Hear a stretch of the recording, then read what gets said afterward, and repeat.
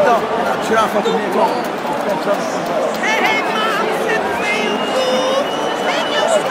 Foto minha com o peixe do fundo.